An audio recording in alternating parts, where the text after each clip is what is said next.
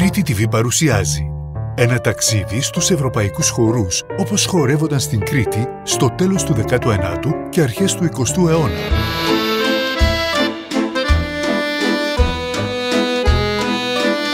Καιρός για Βάλς. Ένα ντοκιμαντέρ δύο επεισοδίων που μας ταξιδεύει πίσω στο χρόνο και στους ευρωπαϊκούς χορούς που χορεύονταν στην Κρήτη. Το Σάββατο στις 10 παρατέταρτο το πρώτο επεισόδιο και την Κυριακή την ίδια ώρα το δεύτερο επεισόδιο του ντοκιμαντέρ με τη Βούλα Νεονάκη. Καιρός για Βάλς. Κρήτη τη Βίναδης.